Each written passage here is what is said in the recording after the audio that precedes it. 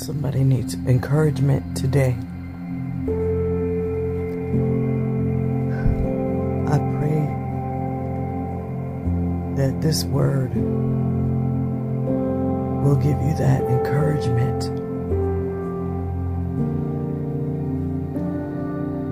In Yahushua's name. In my devotion today, Friday, May 24th, 2024, I was reading from Revelation 1, the specific scripture 117 which says and when i saw him i fell at his feet as dead. And when i read how it described Yahushua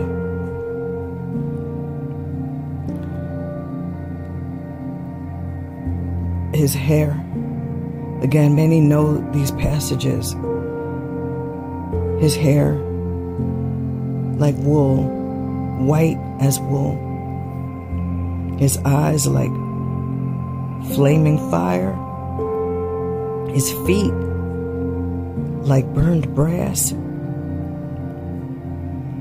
And his voice, like the sound of many waters.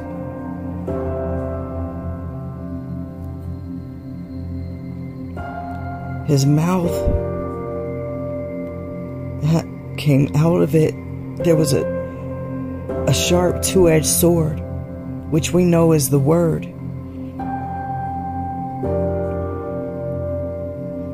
And his countenance was as the strength of the sun. Yochanan, John, looked upon his majesty and fell as if he were dead. What else could you do?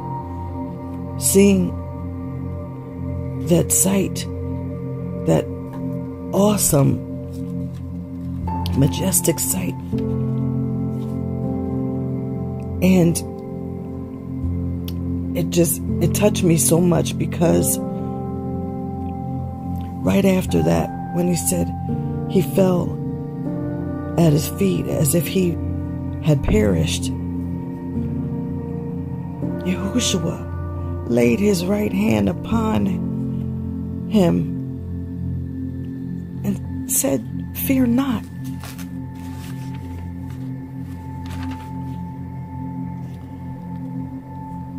And he proceeds to tell him, I am the first and the last. Verse 18 I am he who lives and was dead. And behold, I am alive forevermore. Aman. And have the keys of Sheol and of death. Hallelujah.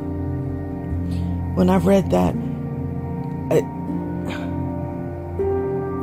I just I just got so emotional and I'm just I'm just it was awesome to read that because it really I really just got in my ruach, my spirit, just how awesome how awesome Yahushua is, how awesome our Father Yahuwah is because in all of that, in in Yochanan, John seeing all of that, Yahushua, he didn't have to he didn't have to take the time to comfort him. He could have told him, arise, you know, get up. But in that display of strength, power, majesty, he still took the time to comfort him put his hand on him and say, Don't fear, fear not. That was awesome to me. And for him to to go further telling him I am the beginning, the Aleph and the Tav, the beginning and the ending. I'm the one who lives though I was deceased. And I'm going to live forevermore. And I not only have the keys to the kingdom, I also have the keys of Sheol and death. Oh, hallelujah. That was awesome to me. And it was just just one more display, just one more understanding of how much the Father loves us, how much Yahushua loves us. Though we tend to get things twisted, well, I know definitely Christianity always wants to say, "Oh, he's He's a loving, he's a loving God. He's he it's all about love, love. Well, you can you can clearly see from this passage the power, the strength that is within Mashiach, Messiah. But in that moment, there is still that comfort that we receive. My devotion goes on to say this Whenever his hand is laid upon you, it is ineffable peace and comfort. The sense that underneath are the everlasting arms, full of sustaining and comfort and strength. When once his touch comes, Nothing at all can cast you into fear again. In the midst of all his ascended glory,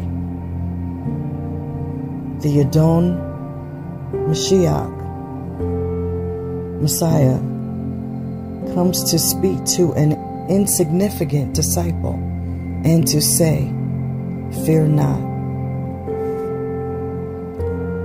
And I'm reading that from My Utmost for His Highest by Oswald Chambers. And of course, I, I revised the sacred names in that. Be encouraged that He is still with us. The majesty, the strength, he still knows our needs. He is still able to comfort us and meet us where we are at. Our Father is not too lofty that He will not take the time to comfort us.